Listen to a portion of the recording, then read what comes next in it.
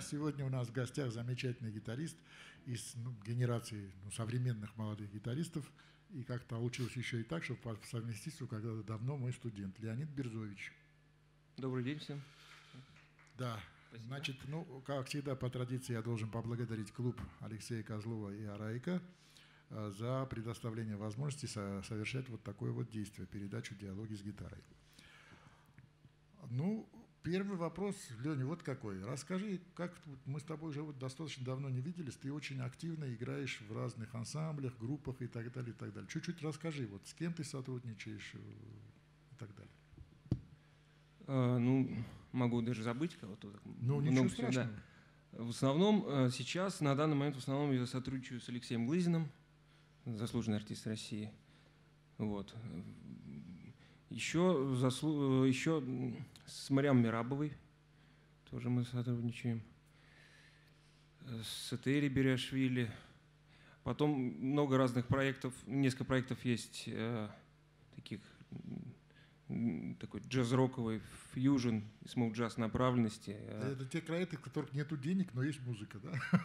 Ну, или, или отчасти, как? да. Ну, естественно, конечно, с Антоном Горбуновым много лет я сотрудничаю. Вот э, в Кандидате мы с ним играем с года с 12 -го. Вот. Потом э, Антон Боев, такой саксофонист и группа Атава Бенд. Э, Тимофей Хазанов и группа Black Sax Band.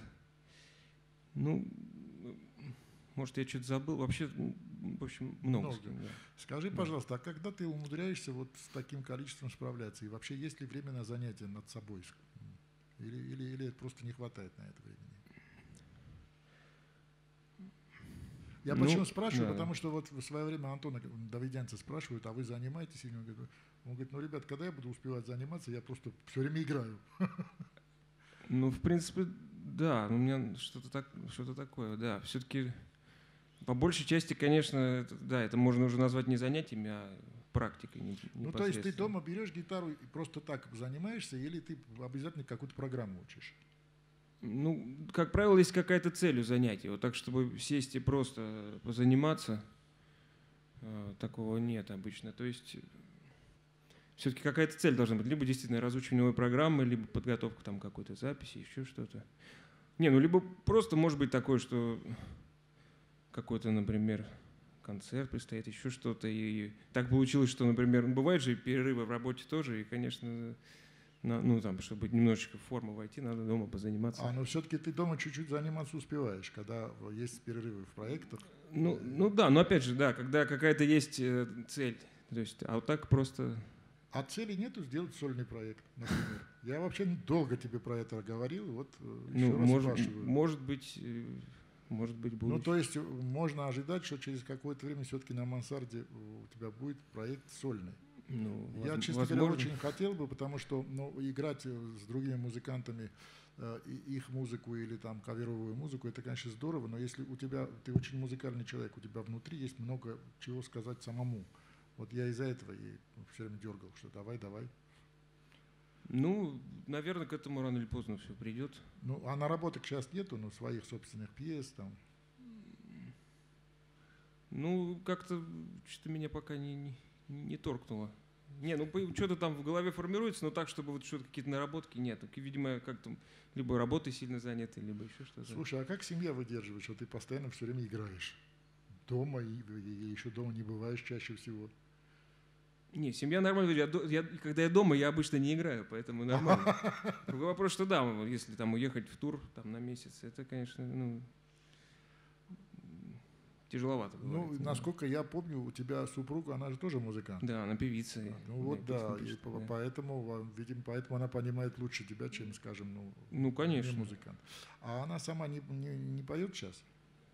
Поет, поет и песни пишет, да. Вот, так вот вместе сделайте. Ну, мы иногда играем вместе. ну, а, вот, этого я не, да. вот этого я не слышал. Я, Да. Вот смотри, вот есть такой замечательный гитарист Фрэнк Гамбали, он вот сейчас делает проекты, где поет, по-моему, его супруга. Да, Вот Бока, последний. Бока Гамбали. Да, да, да, да, да. Вот. Тебе как Да. пример. Почему бы и нет? Да.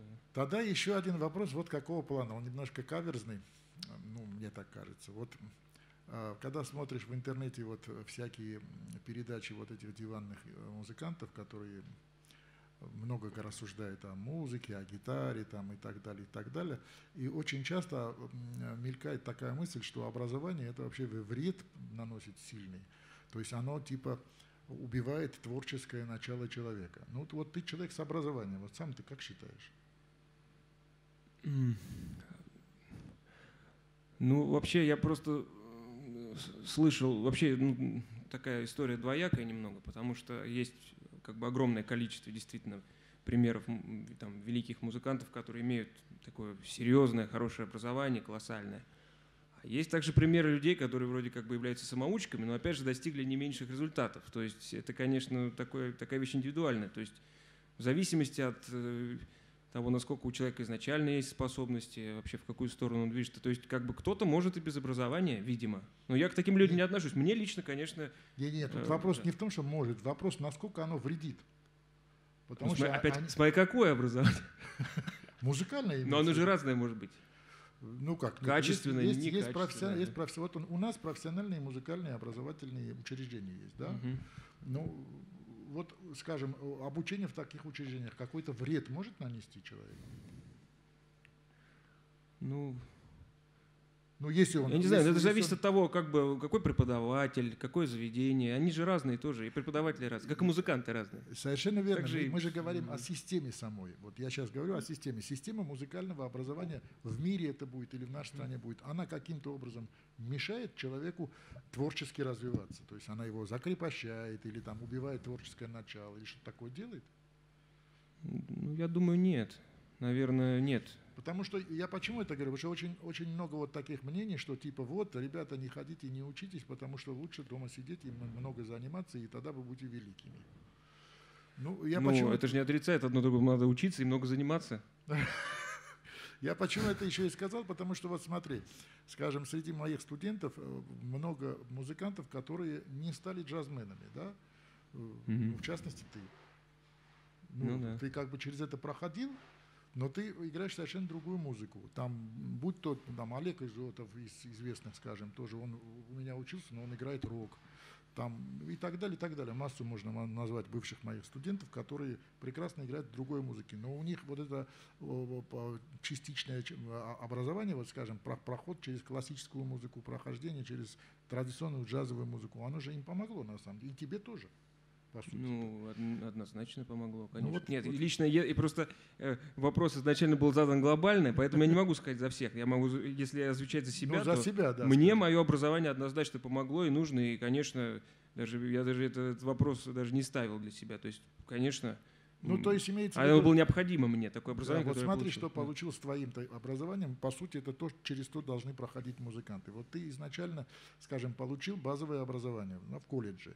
То есть ты прошел там гармонию, там э, взаимосвязи и так далее, и так далее. Потом ты да. начал это оттачивать с музыкантами, которые были лучше тебя, да, вот в клубах там и так далее, с Горбуновым это будет, с другими, с другими, с другими. То есть, но если бы у тебя не было бы вот этой базы, то тебя просто могли бы и не взять со всеми с ними играть-то, собственно говоря.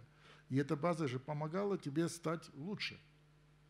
Конечно. Вот я про это. Не, ну тут еще как бы на самом деле, ну, все-таки зависит от того, от преподавателя, от всего, потому что вот в частности, то есть вы мне помогли, например, войти в музыкальный круг, да, то есть по сути вот на первые работы вы меня устроили. Ну, я стараюсь Да. всегда так делать. Ну, а я знаю, есть, ну, как бы, есть, это не только там преподаватели гитары, а есть там преподаватель вокала, еще, например, которые, в принципе, не занимаются никак трудоустройством своих учеников. Ну, у них, может быть, и возможностей таких нет, либо они как бы не особо, ну, вообще об этом думают. То есть, по крайней мере, вы э, много раз э, там своим ученикам помогали. А это же очень важно, вот этот старт дать в карьере, там, запустить человека куда-то, да, пока он там будет вот зеленый, совсем там, его все будут шпынять, да, но это, это необходимость, да, то есть это вот вам спасибо за то, что вы меня... Помнишь, как я говорил, терпи, Да, когда я- тебя Володя Качаров ругал? да, то есть, нет, ну это же необходимо, то есть вы меня Да. как это выкинули в воду, не, не умеющего плавать э, в воду, но это необходимо. Да, это не Но, к сожалению, это, ведь не, не- не- это не всегда так, очень редко наоборот, что вот такая помощь бывает. Ты знаешь, у меня есть ощущение, что даже если бы я этого не сделал, ты бы все равно выплыл сам. Потому что, ну, если человек предрасположен заниматься музыкой, то есть от природы, он в любом случае выплывает плюс-минус. Еще зависит от характера, мне кажется, да, потому что, скажем, э, можно взять в мире там э, фантастические есть музыканты, которые не стали известными только из-за своего, своего характера. То есть э, не, не хватило твердости характера, не, не хватило жесткости. Это не только наших имеется в виду. На Западе полно таких имен, которые, скажем, сегодня не очень знают, но эти люди подавали фантастические надежды, как, как э, музыканты. Это не только гитаристы. Ну, в частности, я был свидетелем несколько раз вот музыкантов в каком-то баре, там сидит человек, играет, играет так, что просто... Потом его спрашиваешь, а почему ты вообще в этом баре сидишь, никуда не вылезаешь? А говорит, мне не надо. То есть он, у него нету вот этого вот амбициозности музыкальной, да, потому что вот у тебя, например, она есть, и это очень сильно помогает. Вот. Я просто это говорю не тебе сейчас, а просто чтобы люди понимали, что э, в музыканте должно быть несколько сочетаний для того, чтобы он поднялся и пошел вперед. Во-первых, он должен быть, мягко говоря, несгибаемый. Во-вторых, не сильно обращать внимание на, ну, на мнение, особенно гитаристов, о гитаристах. Даже я всегда в пример привожу, когда вот выходишь играть на сцену, надо помнить, что в зале сидит максимум один-два гитариста. Остальное просто люди, которые хотят слушать музыку. И поражать их надо музыкой, а не э, тем, что ты, блин, сыграл э, крутые арпеджио. Нет? Э, Ну, раз мы заговорили по образованию, давай вернемся к образованию в каком смысле? Вспомним про то, как ты джаз играл в свое время. Да? Мгм. И сыграем с тобой джазовую пьесу. А? Да.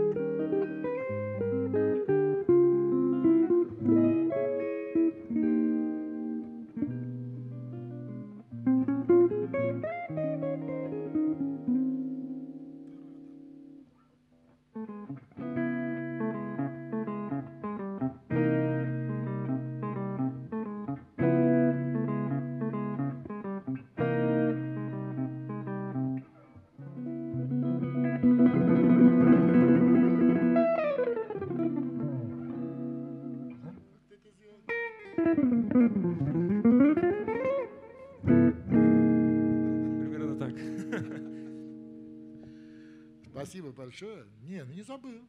Все, все в порядке. Ну, Все замечательно. А, скажи, пожалуйста, вот ты много работаешь с сессионным музыкантом, по сути, очень часто, и судя по количеству групп, в которых ты играешь. Вот какие ты можешь дать рекомендации, скажем, для м, ребят, которые только начинают вот в таких группах, а, будь то по поводу э, оборудования, будь по поводу, э, ну, как к этому готовиться и так далее. Имеется в виду, э, скажем, надо ли писать э, ноты, или вообще, скажем, иметь какую-то большую нотную тетрадь со всеми этими каверами и так далее, или просто попробовать выучить все это наизусть. Ну, в общем, вот, вот что ты по этому поводу можешь сказать?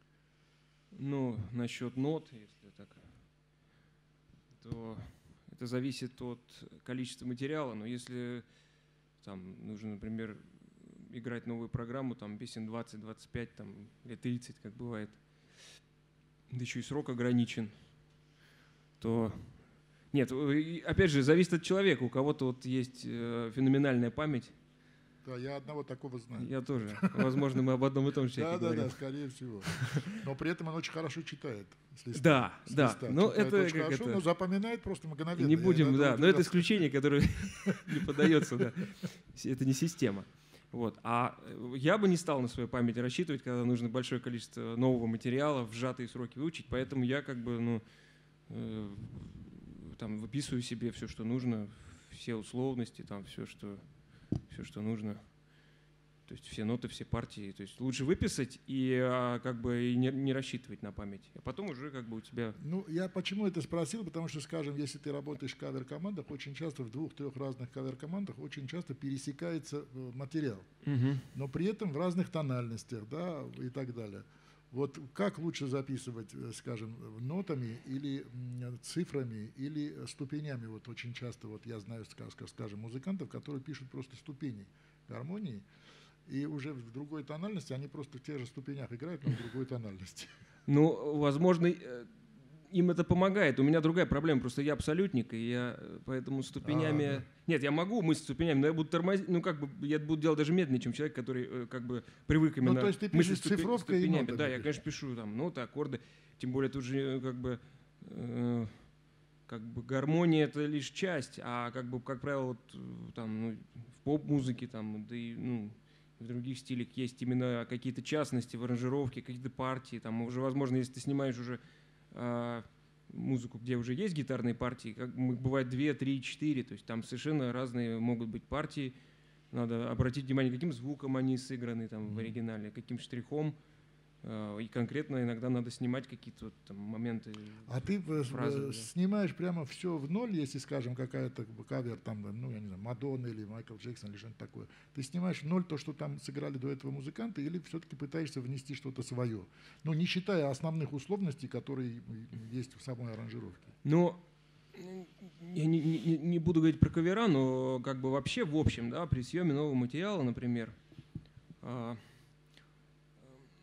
надо в любом случае очень хорошо проанализировать саму аранжировку уже готовую и вычленить все гитарные партии. Сколько, во-первых, сколько их там, определиться с этим.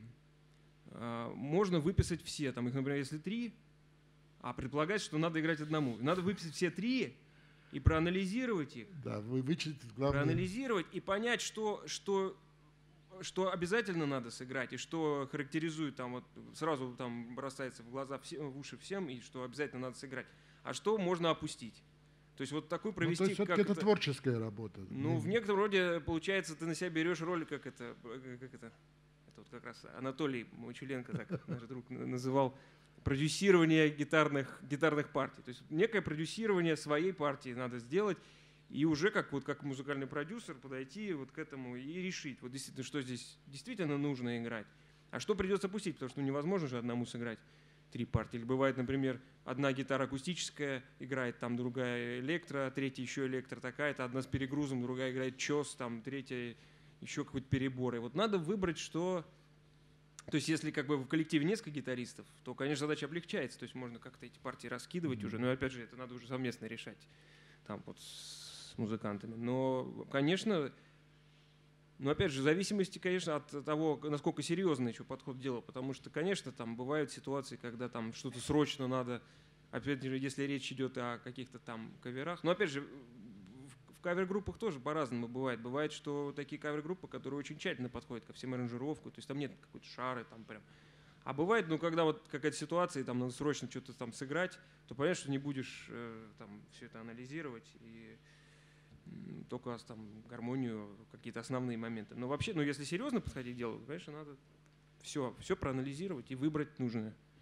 Ну, а с точки зрения оборудования, вот что прямо, прямо необходимо для гитариста? Имеется в виду, вот смотри, вот у тебя э, примочка, скажем, под, да, вот стоит.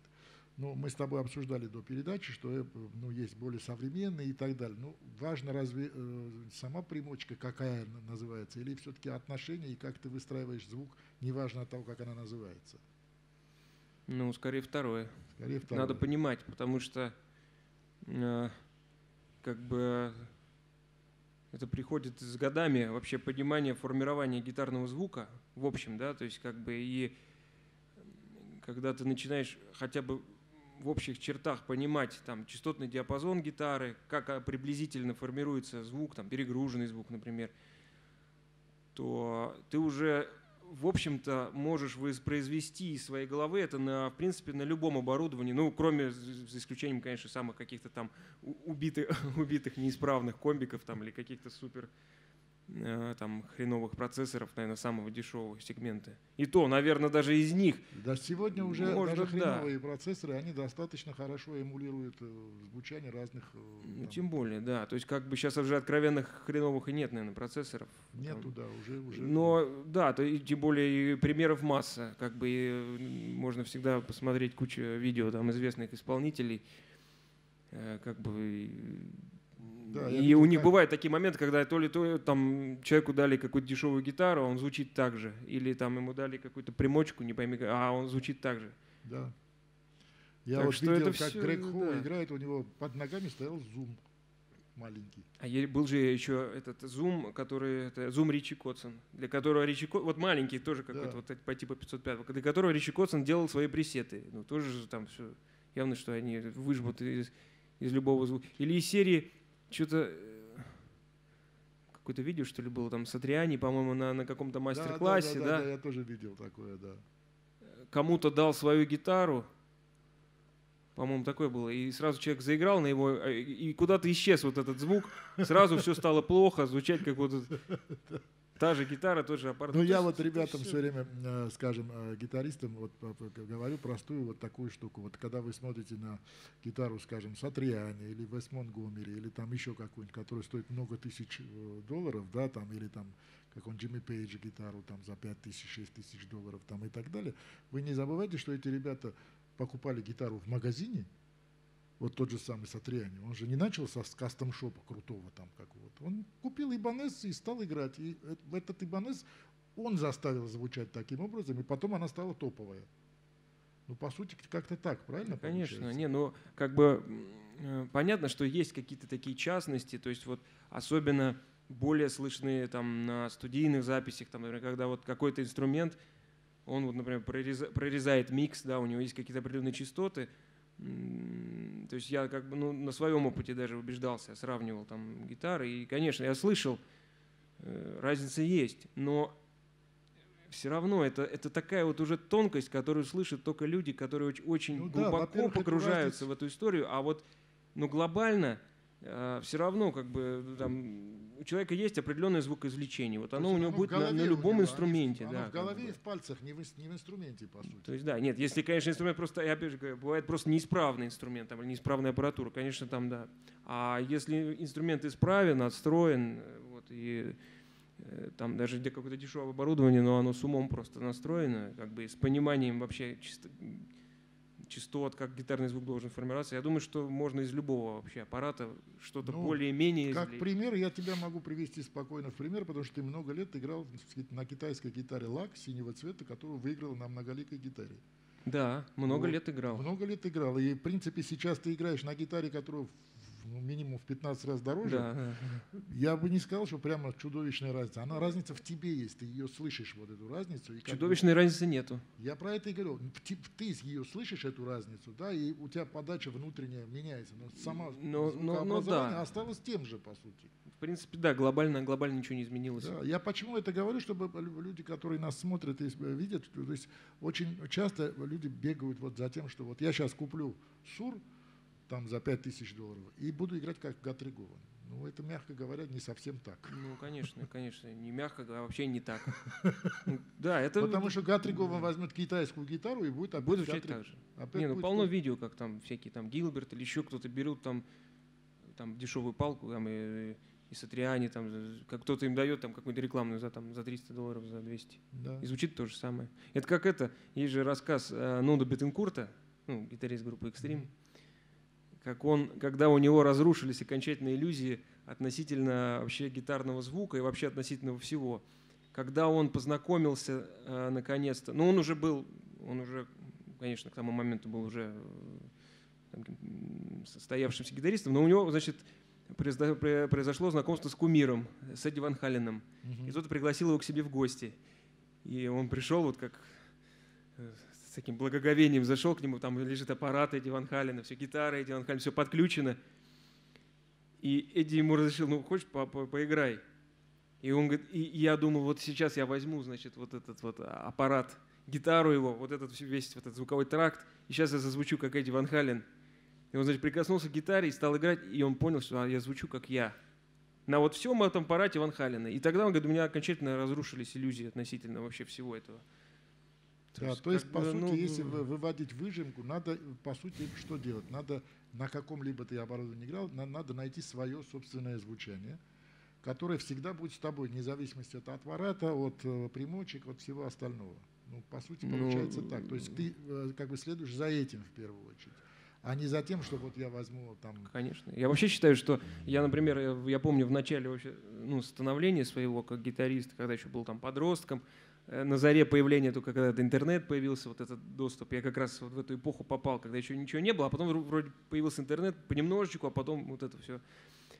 И я, ну, были популярные разные сайты, там гитарные российские, и форумы, статьи разные, вот я так э, с интересом вот это все читал. Но я даже тогда уже, начиная играть на гитаре, отмечал для себя такой факт. Ну, в принципе, со мной соглашались многие, потому что это было очевидно, что вот э, среди информации, посвященной гитаре, вообще игре на гитаре, э, вот на гитарных сайтах, 80-90% занимало обсуждение оборудования. Какие звукосниматели поставить, вот там что там надо припаять, здесь вот такие вот магниты, здесь такие процессоры, вот эти предусилители, там ламповая цифра, шнуры. То есть, нет, это все замечательно, но когда это занимает 95% всего обсуждения гитары, это, это как бы мягко говоря странно. Мне уже тогда, будучи подростком, мне это вызывало недоумение. То есть я думаю, ну, я думал, что надо там 90% думать об игре, так, учитесь да, играть. О музыке, да. А потом об- оборудование, да, это, конечно, важно, но, но это второсте- явно второстепенно. А никто вообще ничего не обсуждал по игре. По, ну, это какие-то проб такие вдруг, как, как вспышки. Кто-то что-то обсудил там касаемо игры на гитаре. Но Ну, это как, это никого ты- почти не интересовало. А люди были многие начинающие именно. И они Да, начинали вообще да. не с того. То есть не с того начинай. Ну, То есть, и- чувак, ты не на лампе играешь, значит ты лох. Как-то так. Ну понятно, ну хорошо, обсудите это 10 минут своего времени, а остальные там 2 часа потратьте на игру, там, на слушание записей, там, ну, на Вот, анализирование вот, музыки. Вот, вот, вот, вот. игры, не, техни, там всего что угодно, но все-таки как бы это, это странно было даже тогда для меня. Сейчас, а тем- сейчас это сейчас еще- вызывает просто смех. Но, но сейчас это еще больше стало.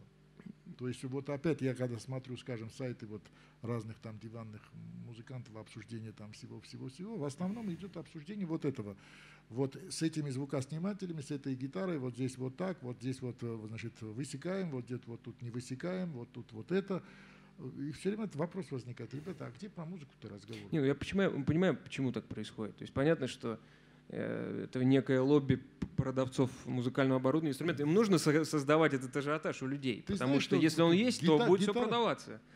А Ты если знаешь- люди забудут об оборудовании и начнут просто заниматься игрой на гитаре, то как Слушай, бы, кто но будет это покупать? оборудование есть и у, и у пианистов, оно есть и у барабанщиков, оно есть и у басистов. Но я не Ну, видел басисты, такого- басисты также обсуждают это. Ну, не- не И до такой до такой, степени. до До такой такой степени, я даже бы- еще больше Да? бывает. Басисты, да. Вот, пи- вот пианисты, барабанщики меньше, да, этим заняты. Ты знаешь, что гитара, наверное, единственный инструмент, где проходит чемпионат мира по скоростной игре на гитаре. Вот я когда узнал, я обалдел, честно говоря. Кто Чемпионат быстрее, мира? Да, ну имеется в виду, кто быстрее всех сыграет. А, то есть это неофициально, а то я уже записаться Ну хотел. не, не, не. Там уже, там уже есть чемпионы. А, есть уже? Ну, конечно, поздно, там- поезд, поезд ушел. Там это Зинчук какой-то выиграл. А, нет, это чемпионат. как бы я книга рекордов Гиннесса. Я ну, понял. Вот, вот, вот, да. я вот, видел, там полет шмеля играет в темпе 1500 BPM. Да, я, знаешь, что я, Я сделал? видел. Я один раз моему э, гитаристу, который был повернут на такой технике, я Мгм. поставил э, вечное движение э, Паганини, когда играет скрипач. Мгм. Хороший, великий скрипач играет. Я говорю, попробуешь на такой скорости? Он, у него глаза вылезли, это невозможно. Ну, то есть, а зачем вообще этим заниматься таким образом? Не, ну раз скрипачи занимались. Скрипачи, понимаешь, вот когда мы говорим о Паганини, да, или о его там технических Ну вот, да. возможностях, там все равно превалировала музыка.